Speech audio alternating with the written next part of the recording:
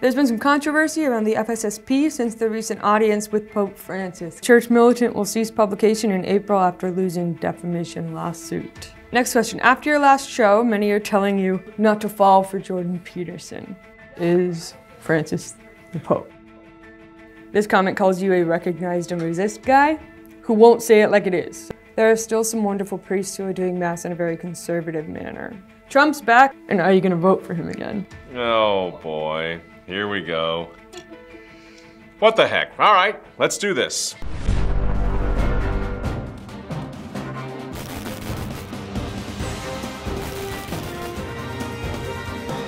Good evening, ladies and gentlemen. I am Michael Matt. This is the Remnant Underground, something a little bit different tonight. I wanted to weigh in on the situation with the Fraternity of St. Peter and Pope Francis, but my producers tell me that they were literally overwhelmed last week after we kicked off the new From the Mail feature here in the Underground. So this week, a little different. Uh, they want to go. They wanted me to go full on synodal, if you will, down here in the Underground and listen to you, which I'm happy to do. So tonight I will be answering some of your questions. Uh, we've selected a few comments from our VIPs who watch us now exclusively at remnant-tv.com. Thank you so much. Uh, you have been, I want to say before we get started, you've been just so supportive as we make this transition away from YouTube. As you know, we're still on YouTube, so we're, we're, we're making the uh, the proactive decision here to move away from YouTube, especially as we go into this. It's going to be a very strange, uh, you know, election year here, obviously coming up with a lot of Big Brother crackdowns. So we're moving over now, preempting, preemptively, which I think is the right thing to do. And I think already we're up to about 10 million views here at littleremnant-tv.com, which ain't bad. That's a pretty impressive start. Um, and by the way, it's not just the underground content. As we grow and as we expand, we're going to be adding channels as needed from content creators who are just as sick and tired as, as, as we are here in the underground of being harassed by Big Brother Big Tech. So lots of expansion expansion projects um, in the offing here uh, that I'm really excited about. So we're off to the races here at remnant-tv.com, and that is 1,000% thanks to you. And we're going to jump right into your questions tonight. But first, I want to start with an, a word from tonight's sponsor, which is Charity Mobile. Charity Mobile is America's pro life phone company. They've got nearly 30 years in the business of helping the unborn and when you sign up with them, 5% of your monthly plan price goes to the pro life, pro family charity of your choice, including the Remnant Foundation, if you'd like. Uh, they've even given us a special offer for you if you make the switch. For a limited time, new customers get a free phone with free activation plus free shipping. There are no contracts. All you need to do is go to charitymobile.com forward slash RTV. That's forward slash RTV. Use the code RTV at checkout. Again, that's charitymobile.com forward slash RTV and use the code RTV at checkout. Okay, now let's get started. Questions from the clans, I guess we could call this. Yeah, right? ready? First yeah. question. Yeah, let's do it. There's been some controversy around the FSSP since the recent audience with Pope Francis. Can you clarify the situation? Yes, yes. Um, where to start with this? I think an observation, and I'm not singling anybody out. Uh, just something I, I, noticed when there was a, a, private audience between the head of the Fraternity of St. Peter and his number one and two and Pope Francis. And something that I noticed was the when this came out, there was a lot of calls for prayers for the fraternity, you know, on YouTube and elsewhere. Uh, Francis is going to shut down the fraternity. Uh, that's the end of the Fraternity of St. Peter. And um, I personally never thought that because, and I'll explain why I didn't think that in, in a moment. But I, just to set the context for, from how I'd like to answer this, the next day when the fraternity released a press statement, a statement for the press saying, we had solicited this audience with Pope Francis because we wanted to sort of solidify what we're trying to do and we're trying to get Francis to back us up a little bit more, especially in France, uh, where there is some trouble with the with the, the bishops maybe not being as supportive as they should be, shall we say. And they wanted Francis to sort of say, yeah, this is what your this is your charism, this is what you're here for. They wanted to have that on the record, post Traditionis Custodes.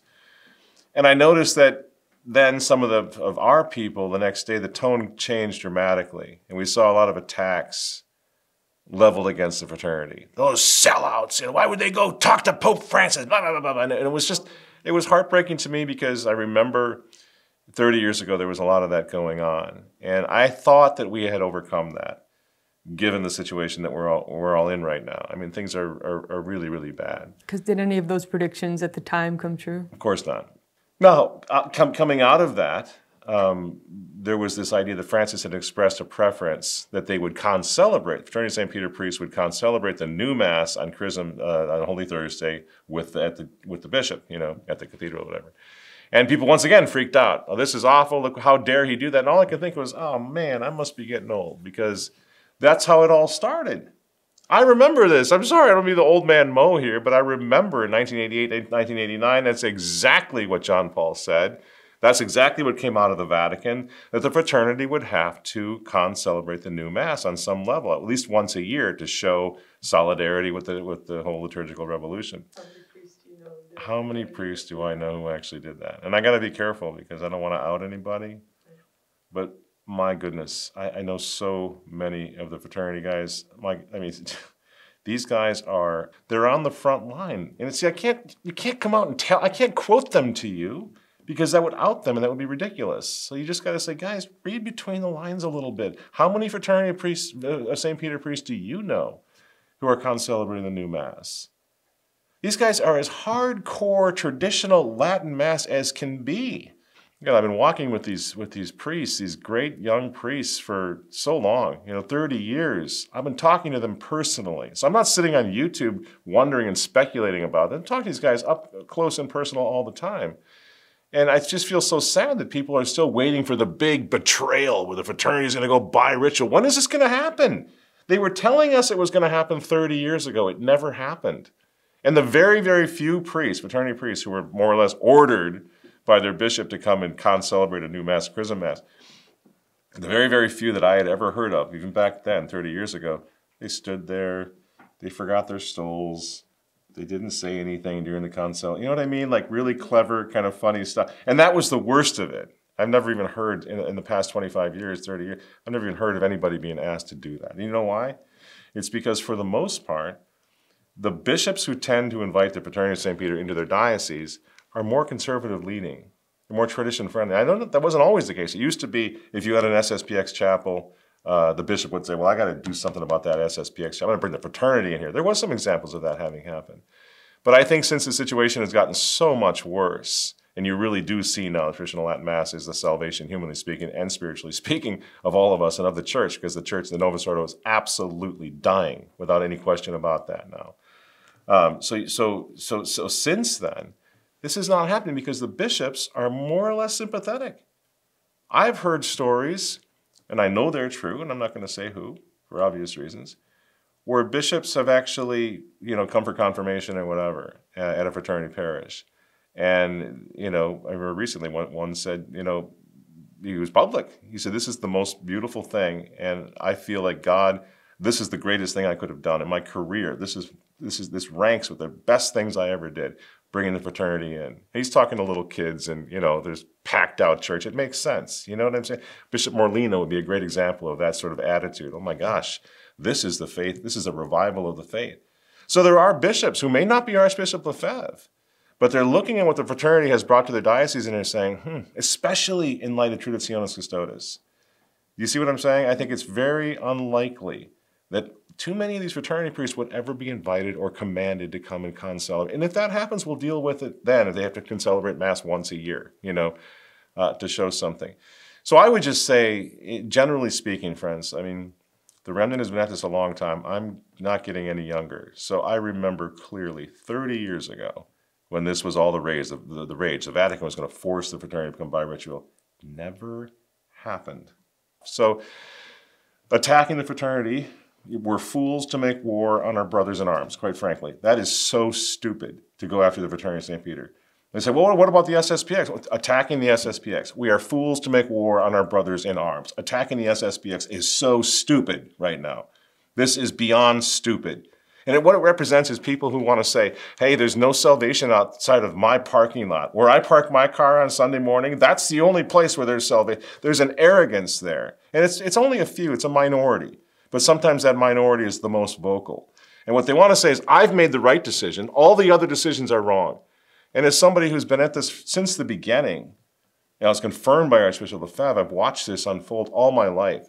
I can tell you that's a really toxic and dangerous position because there are people all over the world who don't have access to the Latin Mass. They don't, they don't have access to the Fraternity of St. Peter. All they have is an SSPX. You know what I mean? Like, go by, go case by case. Stop making these big, gigantic generalizations. You know, and there is, this is the last thing I'll say about that. There always has been a certain competitiveness between the fraternity and the society, for example. Unite the Clans, by the way, has nothing to do with me uniting the, the fraternity of St. Peter and the Society of St. Paul. Absolutely nothing to do with it. Unite the Clans is something we can actually do, every single one of us, regardless of where you park your car on Sunday morning. And that is all of us are just like, hey, you know what? Anybody who sees the problem in the church today, anybody who's trying to save their, their, their, faith, save their souls, save their kids, homeschool, and you got access to a Latin Mass, I don't care if it's fraternity or society or whatever, diocesan, we need to stick together as much as we possibly can. That's basically the, the spirit of the Chartres pilgrimage. Stick together, lay people, stick together, clans, family, right? So I think that that what, what, what the, the, the, society and the fraternity, there, there are certain questions I would say, don't, don't go up to your fraternity priest and say, hey, father, I'm thinking about taking the family over to the SSPX. Is that okay?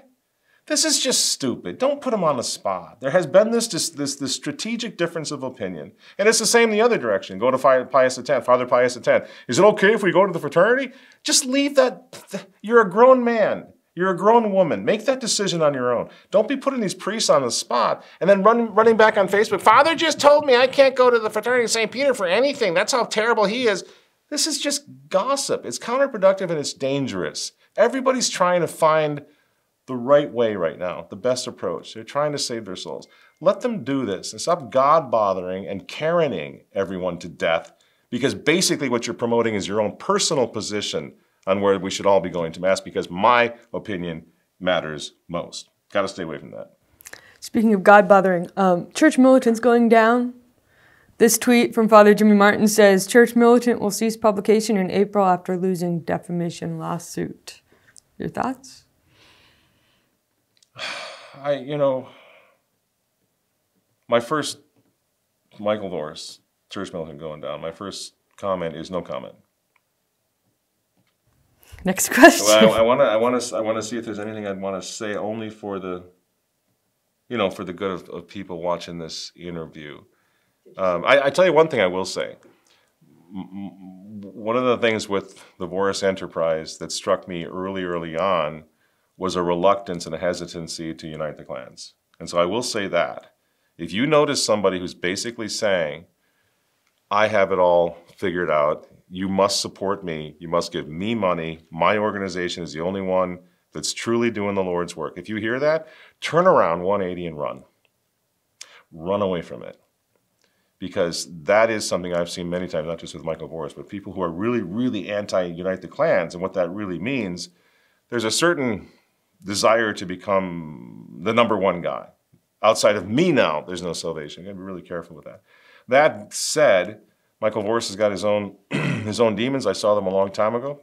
I pray for him. He says he's trying to reform his life. I certainly hope he is. I think the people who are now piling on, you know, they were with him all along, and now that he's in trouble, and now that his church militant is shutting down, they're piling on. Um, I think this is reprehensible and disgusting. I will have no part in it. I think we should pray for our, our people who like that who have fallen. I think you should also, you know, what we were trying to say with, with, respect to that organization was, you know, they're not really even claiming to be traditionalists. That's why we moved away a long, long, long time ago. So I would say just be careful. Like, like don't write checks to organizations that aren't fully tested. I think the traditional movement, the Catholic movement, needs to be much more discerning on who you get behind and how fast you get behind and the lack of vetting and the lack of testing that sometimes goes on. Not, not everybody who says, hey, I say Hail Marys on, on YouTube, how about me? I'm really awesome. That's not, the, that's not always the case. You know what I mean? So I would say just use this example to be a little bit more discerning. And again, I think uh, piling on and attacking people who fall like this uh, is really gross. Really, I think it's, uh, it's, it's just untoward and, and, shouldn't, and shouldn't be done. Uh, and the same same token, I think again, be more discerning on who you who you select to be your leader. Fair enough. Uh, next question. After your last show, many are telling you, oh, so many comments, telling you not to fall for Jordan Peterson. Will you clarify? Not to fall for Jordan Don't Peterson. fall for Jordan Peterson.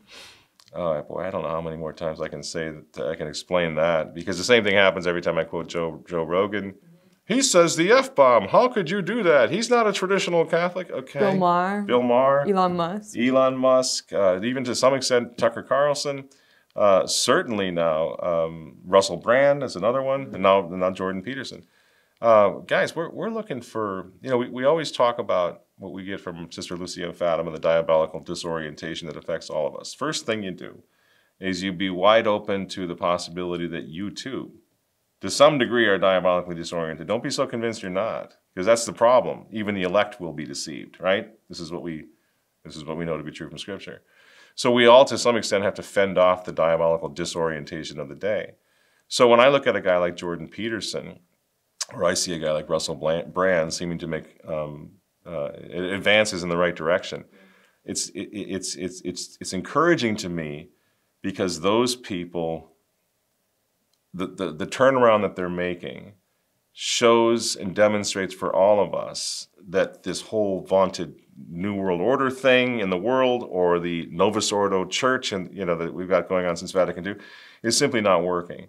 So you have people making progress, trying to find the truth and for traditional Catholics to say, well, until you're all the way a Latin Mass daily communicant guy, you are anathema. Makes no sense on the one hand, it's totally uncharitable.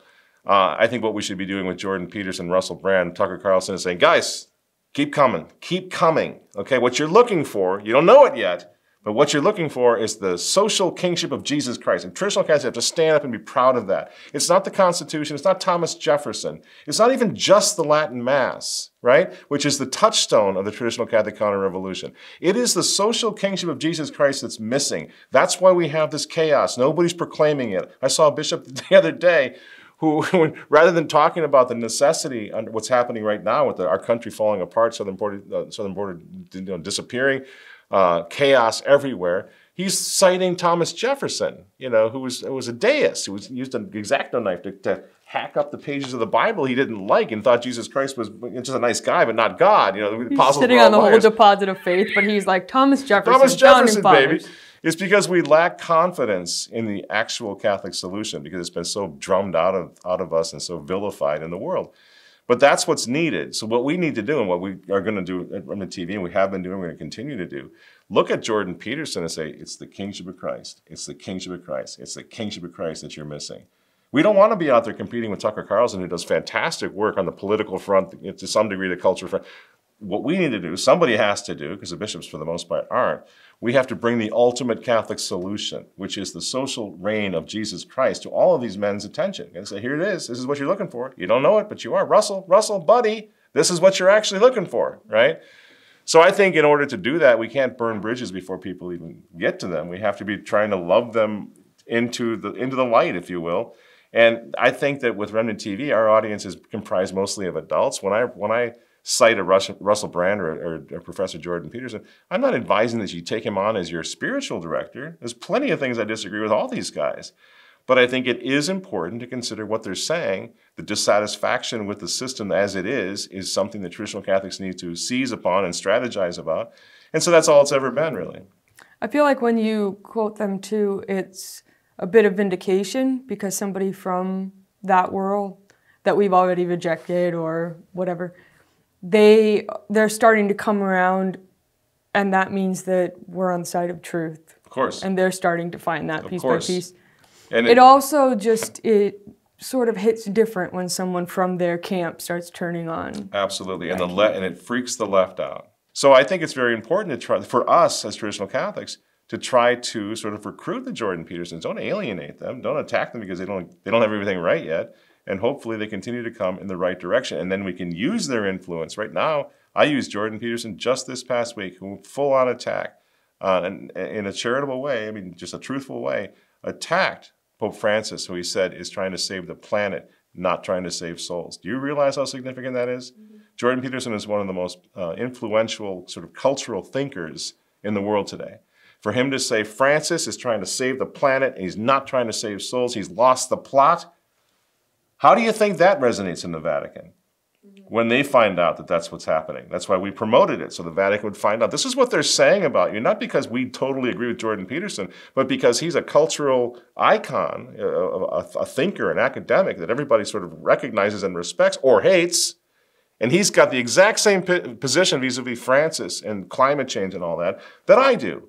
Well, you see what's happening? The power of opposition is getting stronger and getting gaining momentum by recruiting that without saying, I think that Jordan Peterson is a saint and we should be just like him. I hope he, you know, right. quoting something director. that he said that's true is not a blanket. Absolutely. Right. Yeah. So that's why we do that.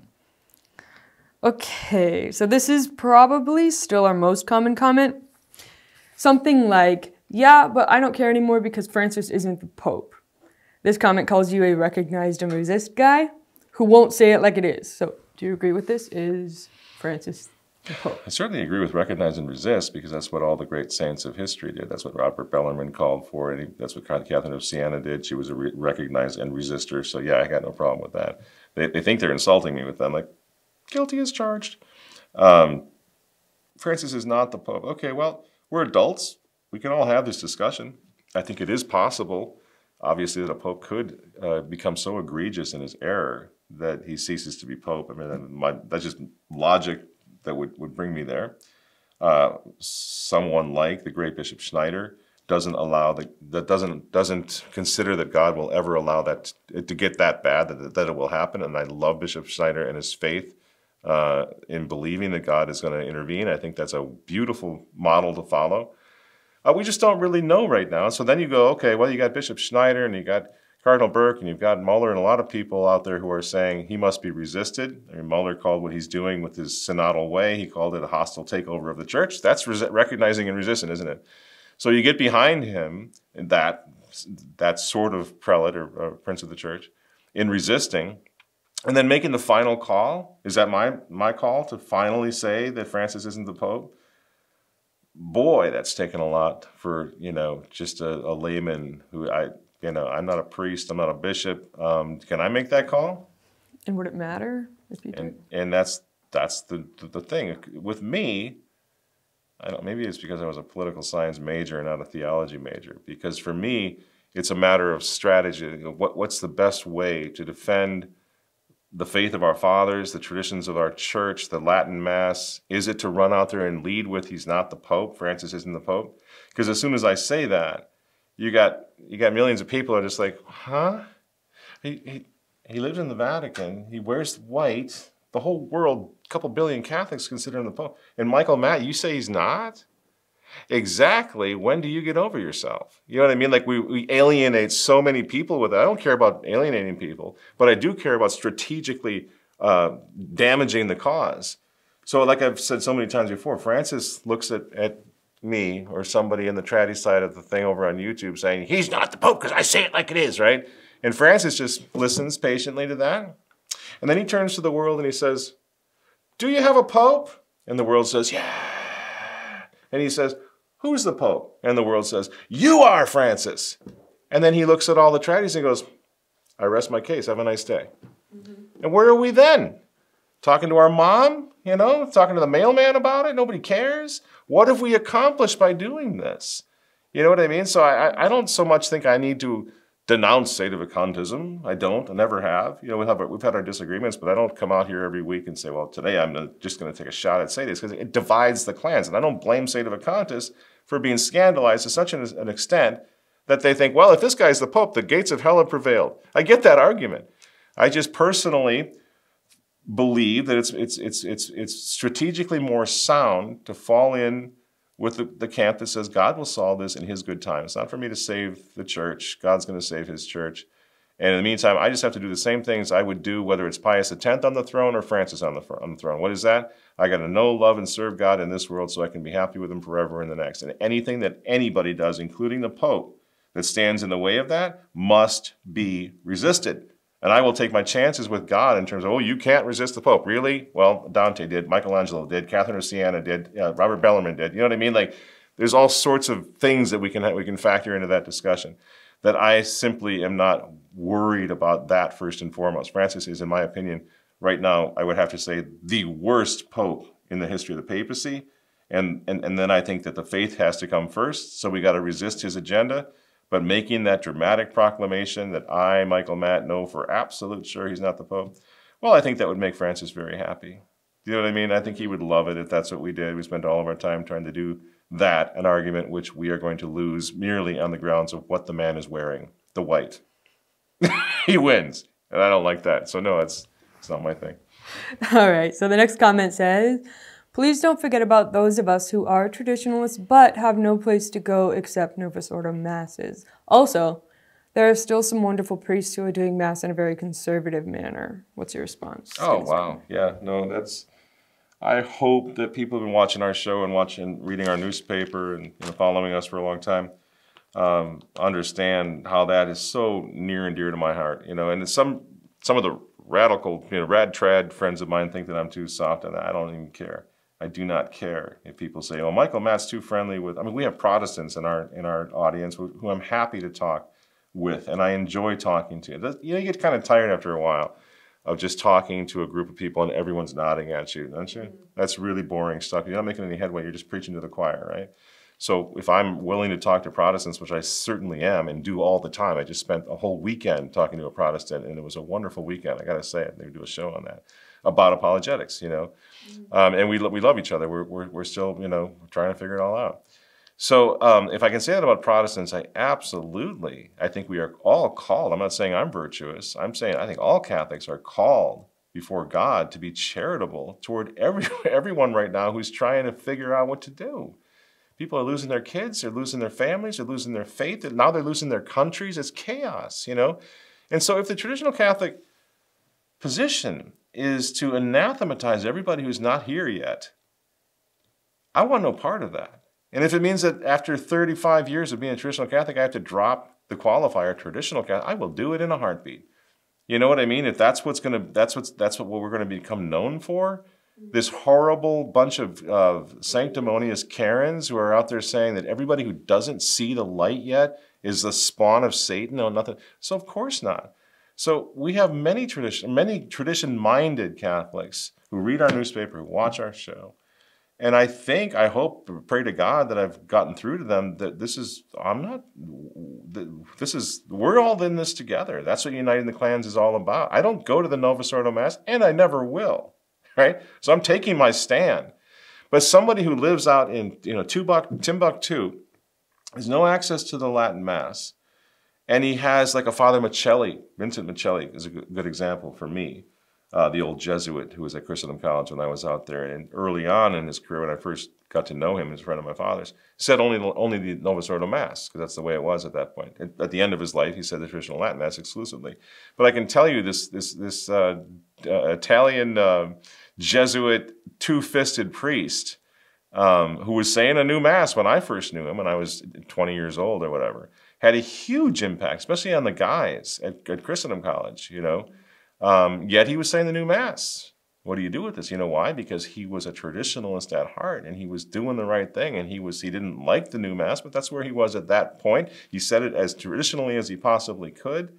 He was moving in the direction of tradition. And I guess that's how I would answer the question uh, and generally speaking, um, what direction are they moving in?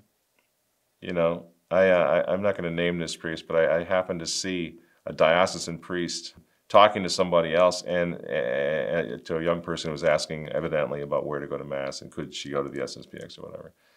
And I suddenly see him turn towards everybody who's waiting out in the hall and he goes, you want to go to the SSPX, that's just fine with me. Well, you heard it here first. That war is over. And if that's if you don't have any access to the traditional mass of Fraternity St. Peter, the diocese, you want to go to the SSPX, go for it. I give you my blessing. You know what I mean? So like mm-hmm. a huge and added, he's diocesan he's also diocesan. biritual. Yes, right? exactly. Biritual uh, diocesan priest. Mm-hmm. But I think those guys, those priests are on the front line. You know, they're the ones who are really fighting hard. And I, I have many, many, I'm, I'm, I'm blessed and graced to call, uh, to, to count among my friends I don't look down on them. And I know, and I won't go to the Novus Ordo Mass either. And they know I won't, and I won't. But we're all in this together, and they're moving in the direction of tradition. It's just a matter of charity. I think it's basic charity. Don't denounce, don't condemn, don't anathematize people who aren't fully in, on board yet. Very good. All right, this is going to change the subject quite a bit. Okay, here's one that says Trump's back on the Colorado ballot. You supported him in 2020. Is 2024 a bigger deal? And are you going to vote for him again? Well, this this almost goes back to what we talked about earlier with uh, Joe Rogan and some of these, you know, Russell Brand types. I mean, with with Donald Trump, I always expected that people would anticipate because we were right out of the gate. We supported Trump. Why? Because he wasn't one of the swamp creatures. Was he a saint? Daily communicate? No, no, no, no. He wasn't. Was he a traditional? No, he wasn't a traditional guy. Is he a Christian? Probably. Hard to say. You know. But you could see he was going to disrupt the system. So early on, 2016, of course, we supported him because we're always looking for opportunities to buy time. But then for some people who are very still two party and they're still believing in this whole American thing, you know, the whole the, the, the, democracy thing, which of course is a joke. We haven't had democracy in a long time, as what happened in 2020 proved definitively with respect to Donald Trump. But for them, they think that then it's a it's a it's an endorsement of Donald Trump as the savior of the of the world, and that's gonna that's gonna and that Michael Matt is being deceived, he's being sucked in by this charlatan, this politician. You know, it's just so stupid. It's so stupid. But the thing is, like I stopped voting. I didn't vote for Bob Dole. I wouldn't vote for Mitt Romney if you gave me a million dollars. That, that, that's just a joke. George W. Bush was a neocon joke, right? So I voted for Trump because I thought, well, he's going to come in and throw a few rocks around, throw a few bombs around, and disrupt everything, which is exactly what he did.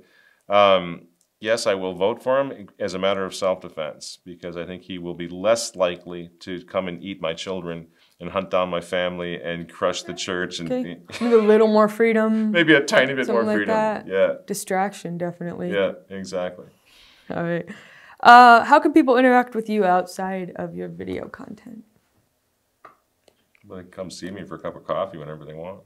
I don't know if you want to put that invite out there. Oh, right. Okay. Um, uh, yeah, the Remnant, uh, we have a lot of new subscribers. We got a lot of viewers, I guess I would say, that, that don't know a whole lot about the Remnant, I suppose. Um, the, so the paper itself has been going for 57 years, almost 60 years.